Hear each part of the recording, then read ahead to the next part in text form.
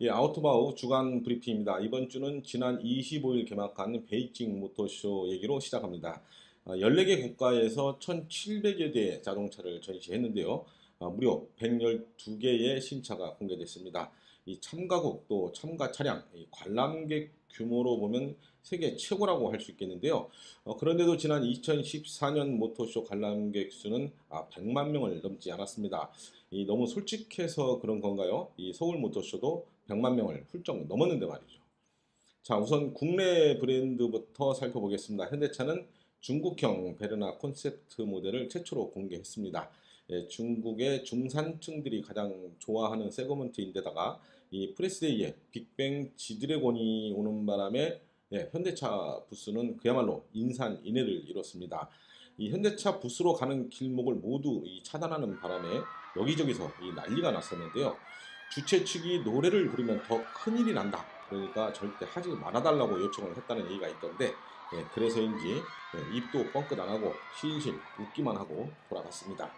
아, 제네시스 브랜드도 중국에 처음 소개를 했죠. 예, G90 또 G80 콘셉트 뉴욕 이렇게 전시를 했는데 현대차 부스 메인 무대보다 이 제네시스 존에 사람이 더 몰렸습니다.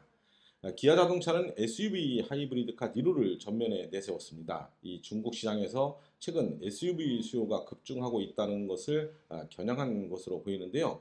이 하이브리드카라는 장점도 있어서 많은 관심을 끌었습니다. 그리고 쌍용차 티볼리 에어, 예, 중국에서는 티볼란이라고 이렇게 부르는데요. 이 부스도 그렇고 전시된 차도 많지 않아서 그런지 아직은 중국 내 입지가 상당히 좁아 보였습니다. 르노 삼성 자동차는 QM5 후속이 될 것으로 거의 확실한 끌레오스를 전면에 내놨습니다. 새로운 어, 르노 패밀리 룩이 사용이 되고 또 차체로 커지면서 아주 육중한 중형 SUV의 이미지를 줬는데요.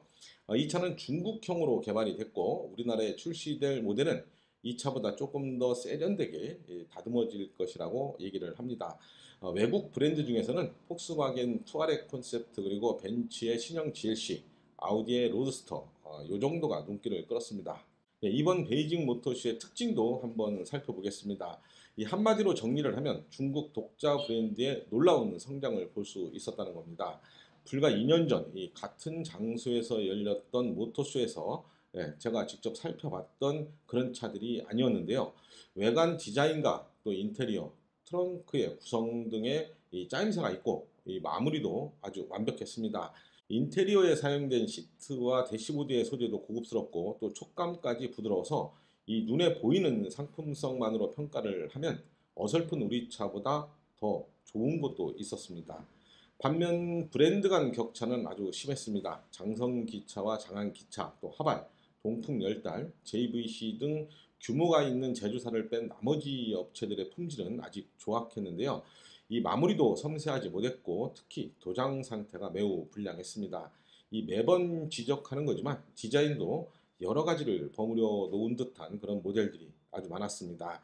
이 현지에서 만난 그 증권사의 애널리스트는 중국 자국 브랜드들이 이 경쟁력 있는 모델을 내놓으면서 수입산 그리고 또 합작사들과 치열한 판매 경쟁을 벌일 것이다 이렇게 전망을 하기도 했는데요. 그럼 어, 국내로 들여오면 경쟁력이 있겠느냐 이렇게 한번 물어봤습니다. 그랬더니 국내 소비자들의 눈높이가 이 세계 최고 브랜드에 맞춰져 있고 20%에 달하는 관세 때문에 현재로서는 가능하지 않은 일이다 이렇게 전망을 했습니다.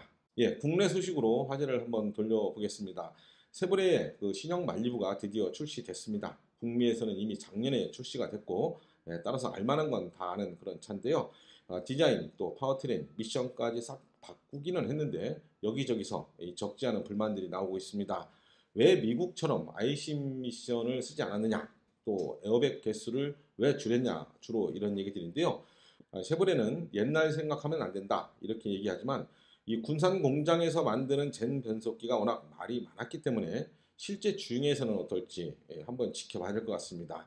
이 초기 반응은 꽤 좋네요. 이 사전 예약 대수가 첫날 2,000대를 넘어섰다고 하는데 예, 여기에 속으시면 안 됩니다.